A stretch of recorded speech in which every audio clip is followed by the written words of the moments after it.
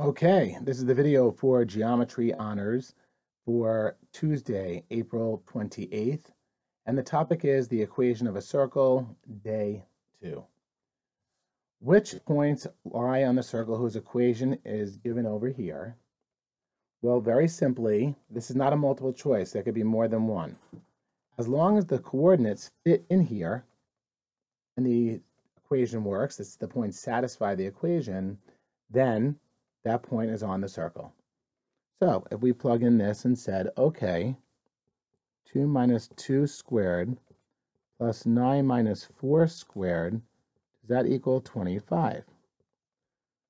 Well, 0 squared plus 5 squared equals 25. 25 equals 25. Check.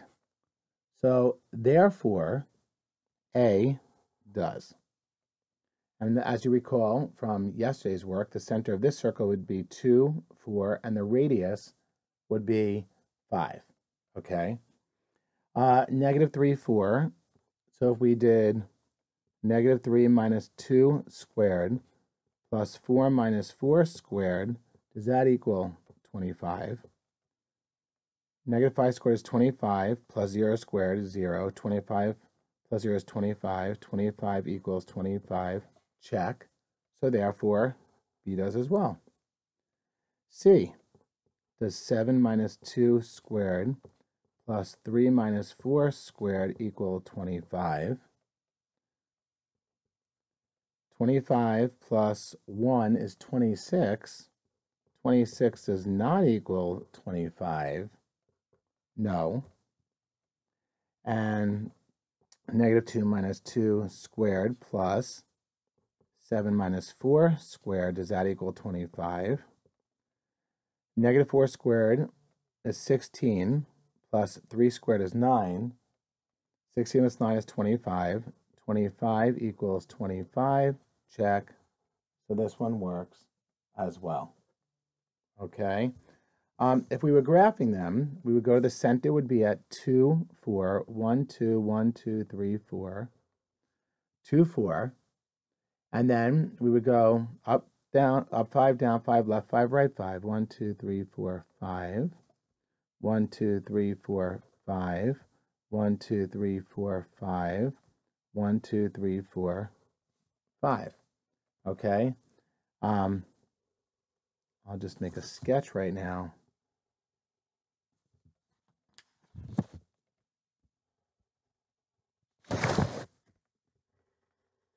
Okay. So, and that is our sketch of a circle.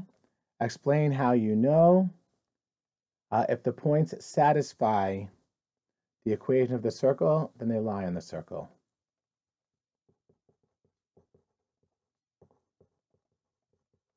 The points, let's say they work in the equation of the circle,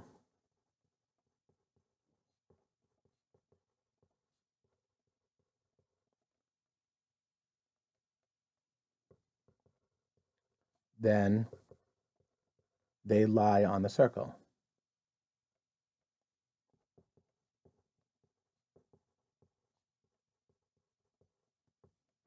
Okay, so that was the do now. Then, now here's the real gist of the lesson over here. Uh, well, first I'll say sometimes the equation of a circle will not be written the way we want it like this. It will not be given to us like this, where the center and radius is there for us to read immediately. And it will be in the general form. The general form is just ax squared plus by squared plus cx plus dy plus e equals zero. Okay? Um, so we're going to take that and they're going to give it to us, and we're going to have to try to change it from that to get it to be like this from yesterday. So we can get the uh, center and radius very easily. So here's how it goes. What we're going to have to do is we're going to have to complete the square to form perfect square trinomials. Now, completing the square, we, we take the b value and we half it, square it, and share it. Half it, square it, and, oh, sorry, half it, square it, and share it. Okay, so half it, square it, share it. So now watch. We have x squared plus 4x plus y squared minus 6y equals 12. These spaces are intentional, okay? We take the b value, half of b, half of 4 is 2, and 2 squared is 4. So we're doing b over 2 squared. So half of 4 is 2, 2 squared is 4. If we add 4 to the left side of the equation, we have to add 4 to the right side of the equation, because whatever you do to one side of the equation, you must do to the other. Half of negative 6 is negative 3. Negative 3 squared is positive 9. If you add 9 to the left side of the equation, you have to add 9 to the right side of the equation. Now, so this part over here, 12 plus 4 is 16 plus 9 is 25. Okay. Now, when we complete the square, as we just did, when you factor it, the factors are going to be the same because we just made this into what's called a perfect square trinomial. So when we factor it, you end up with x plus 2 times x plus 2. And this one is y minus 3 times y minus 3. That's going to be the last time I write it out like that, because from now on, I'm going to go right to writing it like this, x plus 2 squared plus y minus 3 squared equals 25. So now, that's a circle. I know the center is the opposites of these, so negative 2, 3. And the radius is the square root of 25, which is 5. So when I want to find out what the factors are here, it's always half the b value. Half of 4 is 2. It's x plus 2 squared. Half of negative 6 is negative 3. It's y minus 3 squared.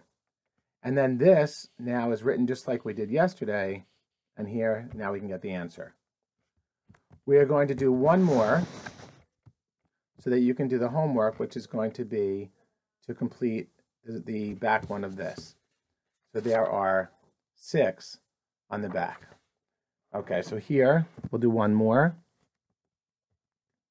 x squared minus 10x. I leave a, a space plus y squared plus 6y equals 2. I add I plus 2 plus 2 and I end up with 2 over there. Okay? Half of negative 10 is negative 5. Negative 5 squared is positive 25. If I add 25 to the left side of the equation, I have to add 25 to the right side of the equation. Half of 6 is 3. 3 squared is 9. If I add 9 to the left side, I have to add 9 to the right side. Now, half of negative 10 is negative 5, so it ends up being x minus 5 squared. Half of 6 is 3. y plus 3 squared equals 36. So now I know the center is the opposites of these. The center is 5, negative 3. And the radius is the square root of 36, which is 6. And you know what? I'm going to do one more so you have 5 for homework instead of 6. Okay, so which one do I want to do? Which one looks the hardest to me? None of them look that hard, but um, I'm going to choose number five, just because. Okay, so x squared plus 8x plus y squared plus 18y is equal to negative 96. Half of 8 is 4. 4 squared is 16. If I add 16 to the left side of the equation, I have to add 16 to the right side. Half of 18 is 9. 9 squared is 81. If I have 81 to the left side, I have to add 81 to the right side. This becomes x plus 4 squared plus y plus 9 squared is equal to 1. So now we know what it is. It's a circle with a center at, oh, there's a little spot for it, negative 4, negative 9, and the square root of 1 is 1. The radius is 1.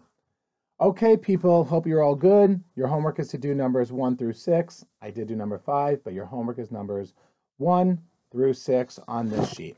Hope all's well. See you on tomorrow in, our Zoom. Okay, and remember, you can always zoom, you can always pause these videos and look at them again or whatever. Okay, hope all's well. Talk to you later. Bye.